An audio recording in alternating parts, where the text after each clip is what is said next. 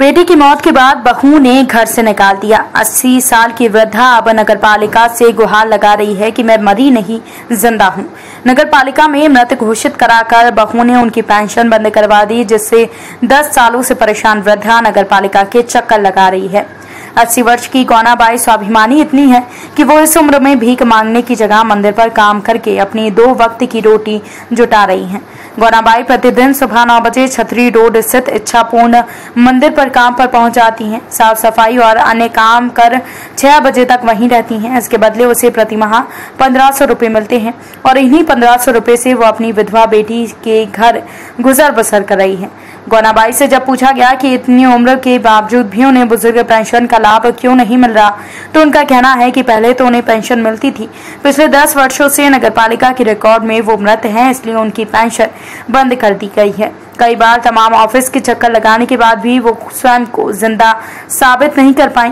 बेटे की मौत के बाद बहू ने घर से निकाल दिया और नगर पालिका के दस्तावेजों में मृत दर्ज करा दिया। ऐसे में पेंशन बंद होने से वृद्धा की माली हालत खराब है।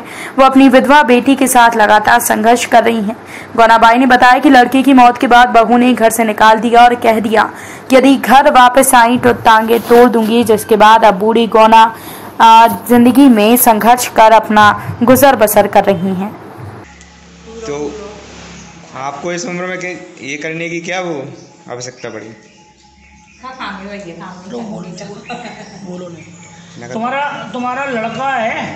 कौन है तुम्हारा? है तो फिर अब कहाँ रहती हो? अच्छा कैसे गुजर बसर करती हो। अच्छा और पेंशन मिलती है? नहीं। क्यों नहीं मिलती? कटा दे बहू ने क्यों? मर गई। जी कह दी कि मर गई।